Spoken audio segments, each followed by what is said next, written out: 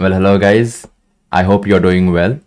Today we are going to talk about CPU intensive versus memory intensive processes. So CPU intensive process, processes are those processes which are going to put more load, much load on CPU. That means they require more CPU power to complete their job.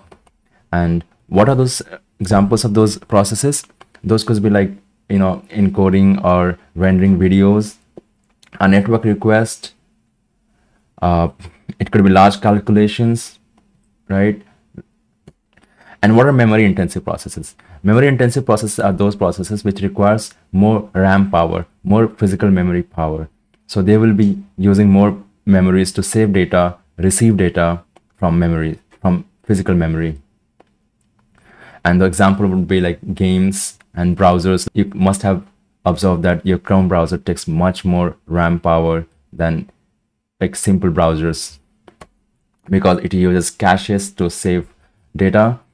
When you like visit a website they use to the the chrome browser actually saves some static data inside your inside the cache so that once you go back to those website again static content won't be retrieved again from the server. Now so when you got to know about like cpu intensive processes and memory intensive processes how you're going to find out that i mean there must be some tool to understand like which processes are more CPU intensive, which processes are more memory intensive.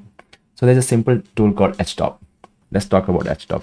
We have a terminal here. Let's start HTOP. So this is a nice view of HTOP here. You can see we have multiple things here to understand. Let me go through it, them one by one. So when you talk about here, like when you see the task, so like you can see here, like there's task, like 101 tasks are running. They're like threads 249 threads are running. And then you can see like 0 1 2 what are these? Like they are cpu cores. And they are showing like what are the loads on each core. Then comes memory. What percentage of memory is being used? And then swap memory. Because we are not using any swap here in my in my system but if you are using swap memory you could have seen the percentage uses of the swap memory as well and then we have a nice row column table here. You can see process ID, PID, and the user who owns that process, and then priority and ni niceness. So what are like priority and niceness?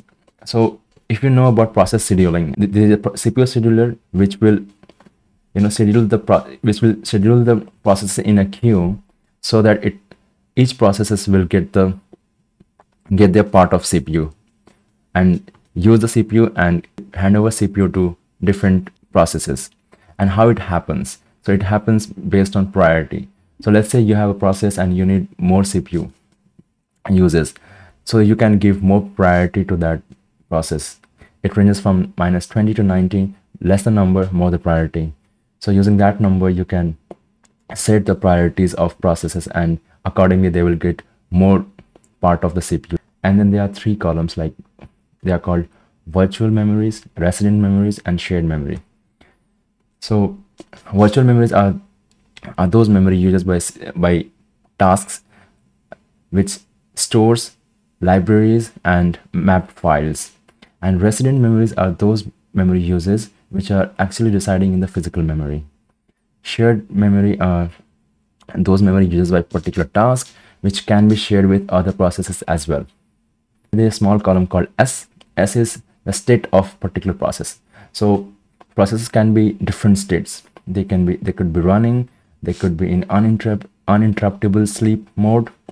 That means or interruptible sleep mode. That means they are waiting for some event to happen. Something like when you're writing a code and you're asking for input from a user then it is it's waiting for an event to happen. That is like a user have to press some keyboard and then give the input to that process.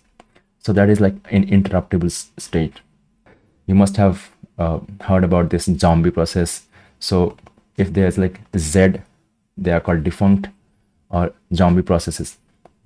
So you can get to know which process in zombie state which process are in running state which process are in sleeping mode so you can have the understanding of each task from this column. And then we have two important columns which we're talking talking which we're talking before. That is cpu intensive or memory intensive. So here you can see the cpu percentage is used by particular task and memory percentage is used by particular task. So when you when i click on cpu percentage you can see like there's a thing called Xorg and this is something like it's rendering my display so as I said, like CPU intensive thing are like rendering display or rendering video. So it's more CPU intensive. So by sorting on this CPU column, you can have an understanding like which processes are taking more CPU or which processes are more CPU intensive when you're running those tasks on your system. When you click on memory percentage column, you can see like the gnome shell, which I'm using right now, my shell itself it's taking more memory. And then we have a column called time plus. It's something like the uptime of particular task. Like for how long this task has been running. And then command is like for each task you, you run a command and that is on here. I hope uh, it explained a lot of things for you like how to understand which processes are cpu intensive which processes are memory intensive using this nice tool. Well thank you for watching this video and I'm pretty sure this video is going to help you in understanding more about CPU intensive processes and memory intensive processes using the tool called HTOP. So like this video, subscribe to channel. Until then, see you. Bye-bye.